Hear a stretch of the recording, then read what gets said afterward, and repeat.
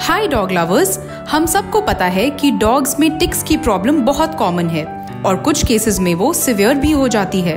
तो इसी प्रॉब्लम को जड़ से हटाने के लिए फर बॉल स्टोरी लाए हैं tick free spray this spray is very easy to use अपने डॉग को बाहर ले जाने से पहले हर पॉ पे एक स्प्रे करिए and then they are good to go best part it doesn't just repel ticks but kills them too so what are you waiting for?